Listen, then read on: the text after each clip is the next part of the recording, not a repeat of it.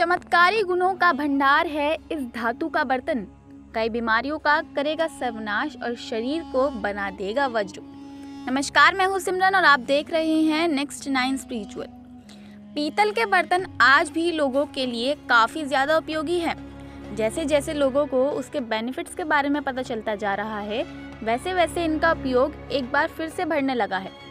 उदयपुर शहर में भी कई परिवार ऐसे हैं जो आज भी इन पीतल के बर्तनों को बनाने का कार्य करते आ रहे हैं।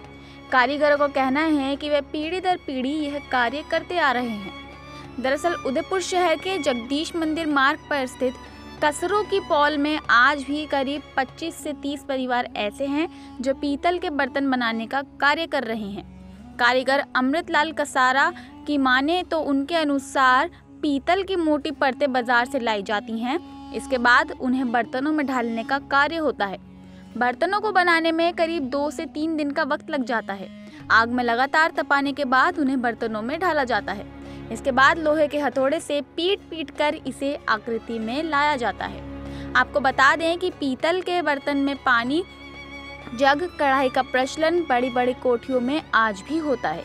लेकिन इसकी कीमतों में बढ़ोतरी होने से भी इसके प्रचलन में कमी आ गई है। लेकिन गाँव में आज भी बेटी को दहेज में पीतल के बर्तन देने की परंपरा कायम बनी हुई है। पीतल के बर्तनों में खाना बनाना और ओल्ड फ़ैशन सबको लगता है। फिर भी यह आपको काफ़ी सारे स्वास्थ्य के लाभ देता है। इन बर्तनों में खाने से न्यूट्रिशनल वैल्यू बढ़ जाती है। अगर आपके घर पर तांबे या पीतल के बर्तन हैं तो इसका प्रयोग करने से आपकी मजबूती और इम्यूनिटी लेवल भी हाई होगा। फ़िलहाल के लिए इतना ही। हम मिलेंगे आपसे अगले वीडियो में, अगले विषय के साथ। तब तक के लिए सब्सक्राइब कीजिए हमारे YouTube channel next nine spiritual को। धन्यवाद।